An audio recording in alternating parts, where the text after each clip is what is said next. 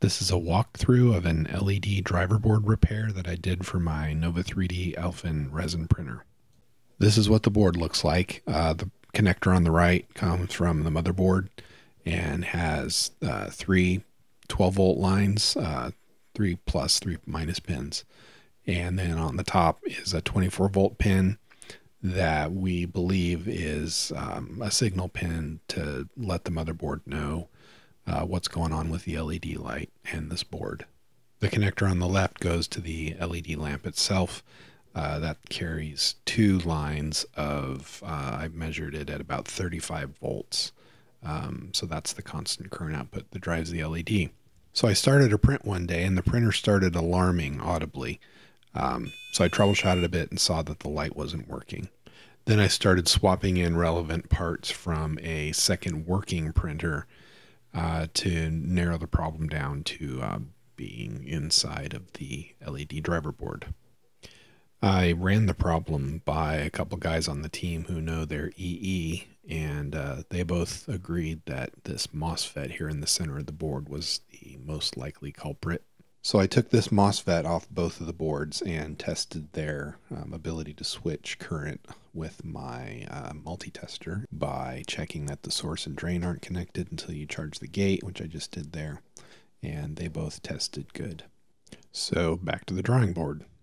Earlier when I was probing around on the board, I noticed that pin 8 of this little IC was connected to the gate of the MOSFET, so we figured it must be the MOSFET driver and therefore the next likely suspect. So I decided I was going to swap the two ICs to see if I could get the bad board working with the chip from the good board. So here I am um, removing one of the two ICs with some SMD rework um, material. This is not really solder. It uh, mixes with the solder on the pads and lowers the melting temperature of the whole uh, mixture and uh, lets you get the chip off, hopefully without burning it. This is the package that I picked up off Amazon. It comes with its own flux and plenty of the material you uh, actually want to use as little as possible because you're going to have to clean it all off before you can replace the part. But um, as you can see, it, it works really well. It, it uh, came right off with uh, minimal heat applied to the, to the part.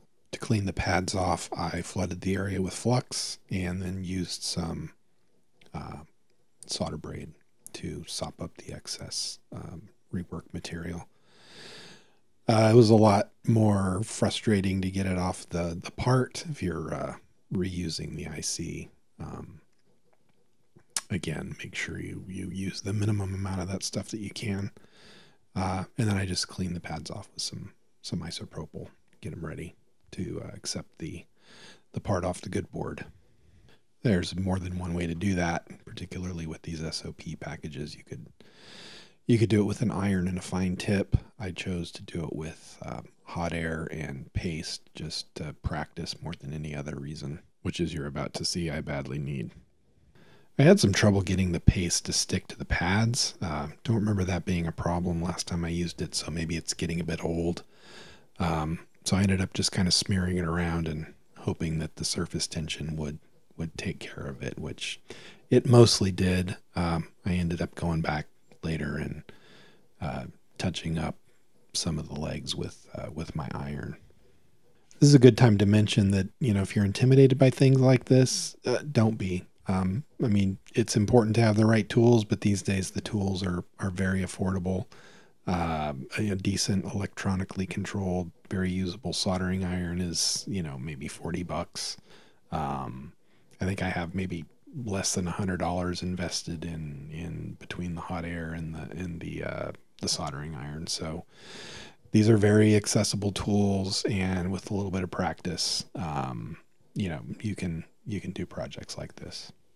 So the punchline is that this chip did turn out to be the problem. When I swapped the one off the good board onto the bad board, it rescued the bad board, and I'm able to source these from uh, eBay for about a dollar a piece. The chip is uh, QX Micro 5305, as you can see the marking there.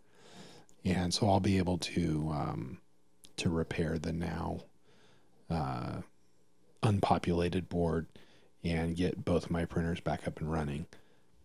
That's the video. Hope you learned something. This is Jared, aka Maker Matrix, on behalf of Photonsters. If you've got questions, ask here or find us on Facebook.